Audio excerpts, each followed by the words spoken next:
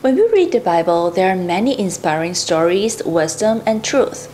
Do you notice that the Bible is a book of covenants? What is covenant to you? Is it like a contract? God fulfills His promises over and over again. What we have to do is to trust in God. Proverbs chapter 3, verse 3 to 6. Let love and faithfulness never leave you. Bind them around your neck. Write them on the tablet of your heart. Then you'll win favor and a good name in the sight of God and man. Trust in the Lord with all your heart, and lean not on your own understanding. In all your ways submit to him, and he will make your paths straight. Can you trust God and in all your ways submit to Him? There are many examples in the Bible that show you God's promise. God promised Abraham to be the father of many nations. God promised Abraham and Sarah to have a son in old age, not to mention the land, seed, and blessings. Abraham needs to have the courage to leave his homeland and explore in Genesis 12:1. The call of Abram. The Lord has said to Abram, Go from your country, your people, and your father's household to the land I will show you. Sometimes God would need us to do a little bit of adventure, to leave your comfort zone and explore something new. Are you able to do that?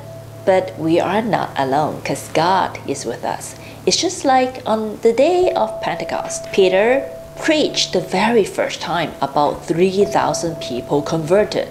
In Acts 1:17, in the last days, God says, I will pour my spirit on all people. Your sons and daughters will prophesy.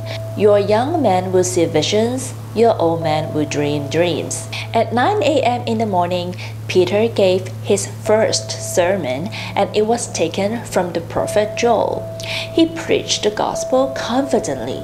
When people heard this message, people were baptized, and about 3,000 souls were added to that number that day. How can Peter do that? It is by his great sermon and his own works?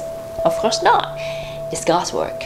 It is the collaborative work of Peter and God when Peter listened to God and followed God's will to do it. In Joshua 1 9. Have I not commanded you? Be strong and courageous. Do not be afraid. Do not be discouraged, for the Lord your God will be with you wherever you go. Trust in God and be an explorer. You don't be afraid because God is with you.